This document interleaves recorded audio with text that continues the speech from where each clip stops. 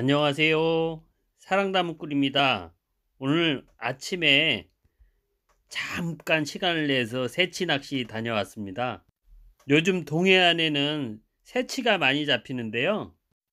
낚시꾼들이 제일 싫어하는 황어, 큰 황어가 한 마리 잡혔네요. 손맛은 아주 재밌게 봤습니다.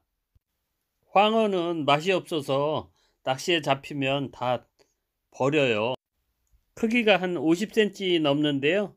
낚싯줄 끊어질까봐 조심해서 올렸습니다. 녀석은 놔주고요. 새치 낚시는 낚시하느라가 바빠서 영상은 못 찍었어요.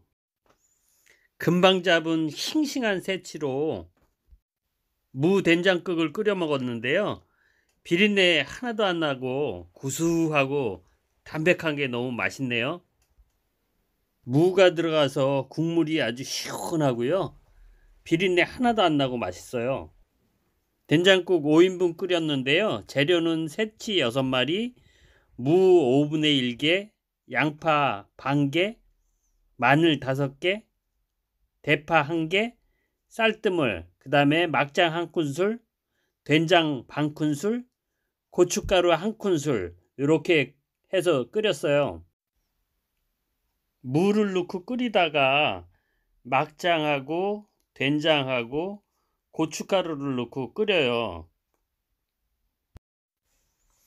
국물이 끓기 시작하면 나머지 재료를 전부 넣고요.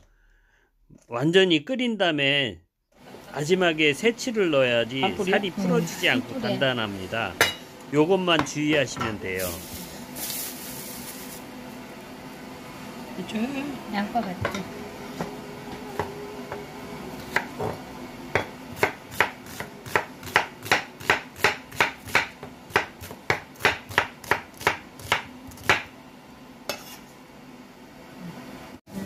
지? 해야 돼. 국물 맛있지?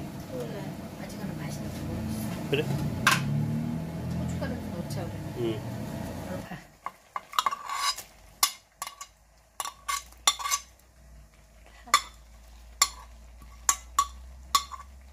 됐습니다. 팍 한번 끓여. 그렇지.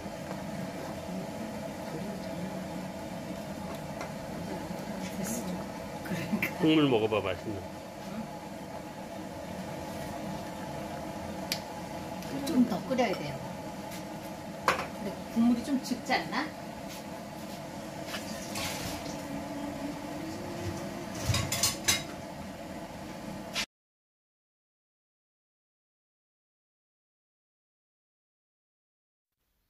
새치는 비린내가 별로 안 나서 된장국도 끓여 먹고 미역국도 끓여 먹고 그 다음에 김치찌개에도 넣어서 먹으면 맛있어요.